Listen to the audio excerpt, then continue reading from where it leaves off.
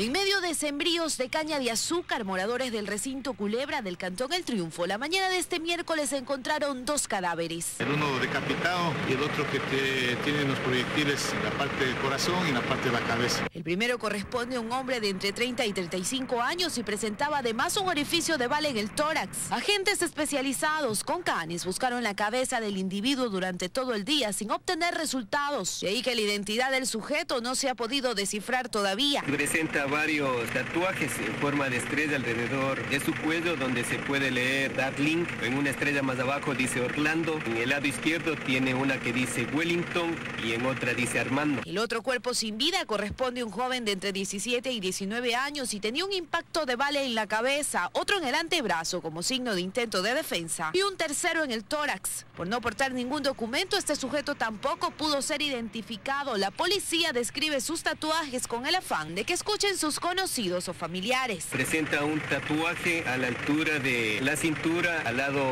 izquierdo, que dice Angelito. Y en la parte posterior de la espalda tiene Ana, amor de madre. Por la rigidez calavérica, se calcula que ambos cuerpos habrían sido abandonados entre 8 y 10 horas antes del hallazgo que se produjo alrededor de las 11.30. Fueron botados acá aproximadamente en las horas de la madrugada. Los cadáveres fueron trasladados al laboratorio de criminalística de Guayaquil para la autopsia respectiva, en tanto que las investigaciones continuarán hasta dar con los responsables del doble asesinato, que dejó conmocionada a toda una comunidad. Luisa María Heredia, 24 horas.